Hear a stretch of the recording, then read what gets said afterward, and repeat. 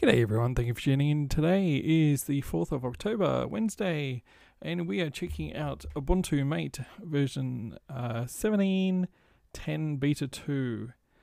Uh, I've just installed it yesterday, still polishing out a few issues, but I thought I'd just have a quick rundown and let you guys know how it, it is. So it looks very similar to the previous builds and even similar to Windows 8. Um, I've got a My Computer Rubbish Bin Firefox browser. I've got Mumble installed. I've got IRC installed. Command line shortcut. We've got TeamViewer to remote in. Wire for instant messaging and replacement for Skype. Um, my documents folder and then the NTFS drives, which are mounted automatically, and a Stargate DVD, which I found. Um, I've installed this program over here called uh, Xpad, which is like a sticky notes thing. So, problem so far. Um, it installed all the hardware, alright, so it detected my video card R9 380 4 gig Sapphire. It detected the PreSonus uh, audio box interface, which is good. Detected the Xeon CPU and H97 motherboard drivers. So that's good there. Um, but Steam, I've tried installing in the command line and through the software store, and it hasn't made an icon. Uh, video playback doesn't seem to work, even after installing extra codecs in the software store. So if we right click on DVD, um, you'll see it's the Stargate DVD. Alright, so we go open with VLC, and it actually comes up with a weird crap there. If we go open there, same sort of thing. Or if we try SM player,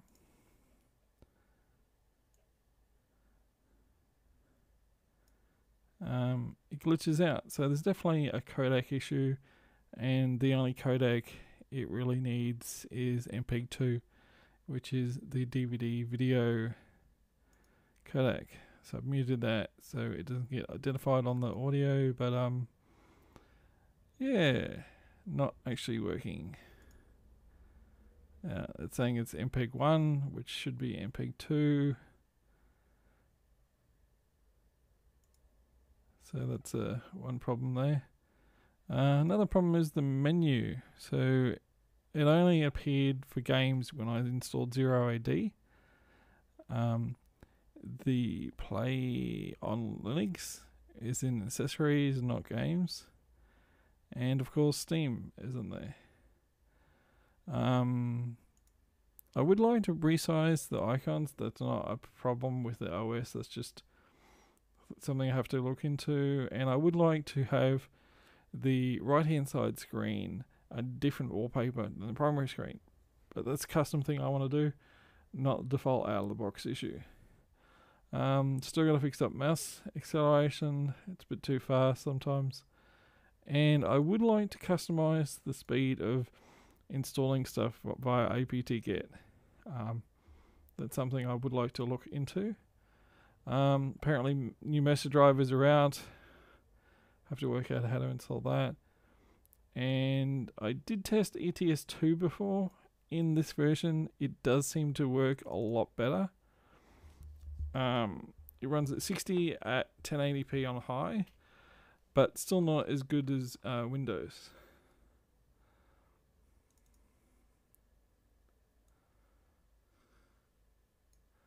I'll just look up the command to show you the graphic driver.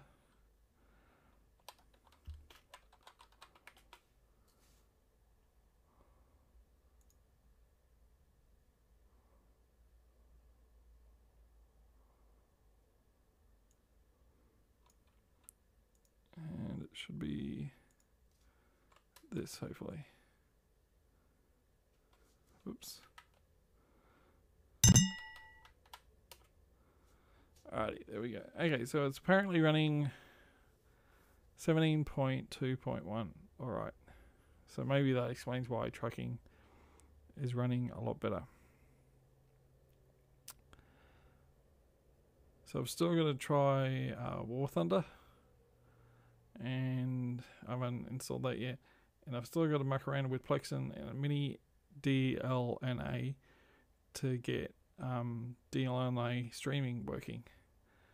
Uh, the network actually worked a lot better this time. Yeah, she hit uh, browse network, and it actually browses the network. So I'm guessing that's the modem. That's my flatmate's computer, and for some reason, my computer came up twice. So at least that's progressing along better than it was before. And for some reason, I've got nothing shared, but at least it comes up. But the problem I find is actually going into the drive. You can't just right click on the drive and go like backup. Oh, not sorry, backup. Um, share files. Um, and it's not even an option there. So that's uh, one thing to work out. Samba is not easy, but I have installed a few things extra. So I put on LeafPad, um, which is a notepad uh, type program, XPad, which is this little sticky notes thing, Color Paint, which is like paintbrush. Um,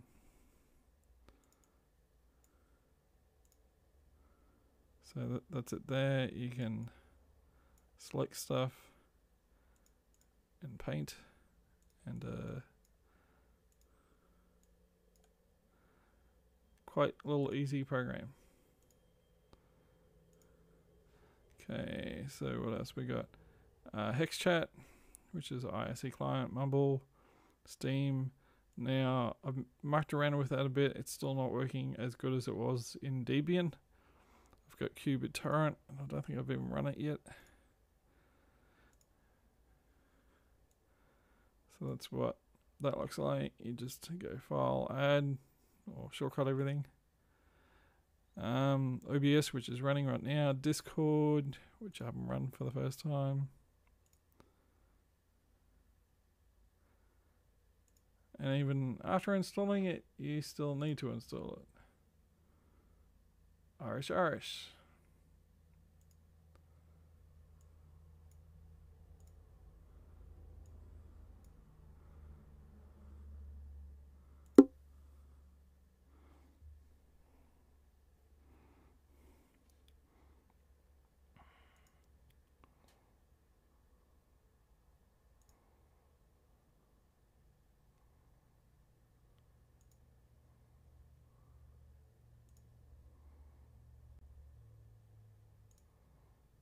Oh, we'll look at that later. Um, oh, there we go. It pops up. Yay! Finally. All right. After installing it, you gotta install it.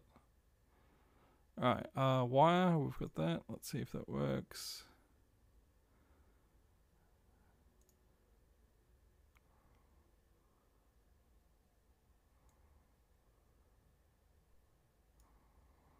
Alright, what else we got on the list? Dukto, that is a LAN transfer program.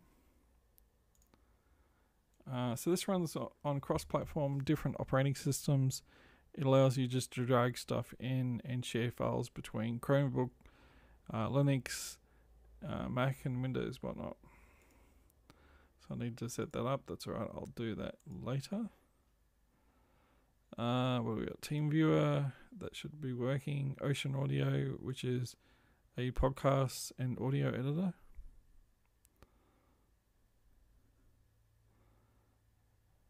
Uh, which is there. Not saying there's a new new copy there. That's all right. We'll work that out later. Um, so I went to the software store and installed all these things. So it is here, Software Boutique it's called.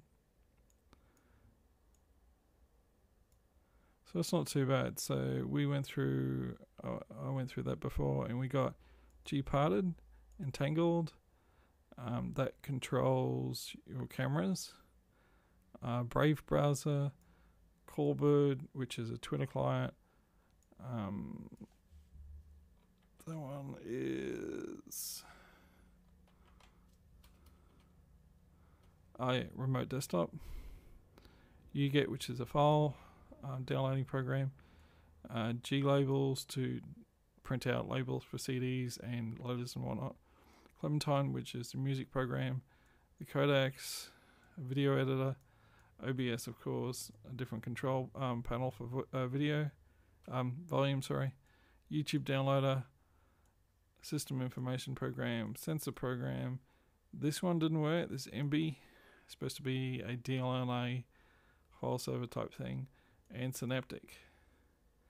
Um, haven't worked out how to control the speed on this. I don't think it's actually in here in the preferences, so that would be a good thing to give. Um, and yeah, everything else seems to run okay-ish. Um, both screens are working. OBS picks up quite good. The microphone's working. Um, the so Steam. You have to actually run from the command line, and then it pops up. So I've only installed a couple games at the moment. We've got this one, which was on gaming on Linux. Um, which doesn't actually load. So you hit that, it brings up its title screen, and then that's about it. It just stays there, and the little line here doesn't do anything. Um, certainly doesn't seem to run either. It just stays there saying running, running, running, and then files. Uh, trucking works, and Borderlands 2 works. Um, Borderlands 2 actually does some really good frames. Um, yeah, we'll quickly launch that up.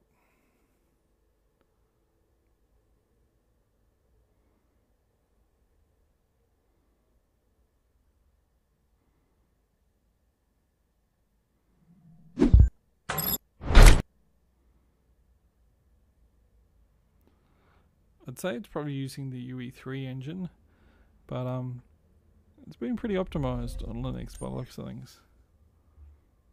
It's just a shame that Fortnite, which is made by Epic Games, doesn't support OpenGL and doesn't support Linux.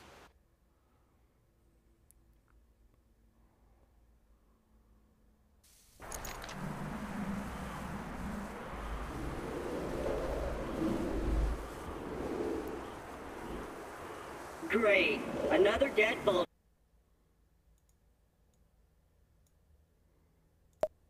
Handsome Jack's I don't know if you guys can see up top, but it's got a green FPS counter saying about 116 at the moment. So this is just the, Wait a uh, minute. You're not dead. Yes! Now I can get off this glacier. Claptrap, your metaphorical ship has finally come in. Allow me to introduce myself. I am a CL4P TP steward bot. So yeah, it seems to run uh, fairly well anyway. Um, field of view is 94, unlimited frame rate. Um, it's got pretty much everything on high except for depth of the field, which I always get rid of, and ambient occlusion. Um, and yeah, been playing that recently on Linux, been working quite well.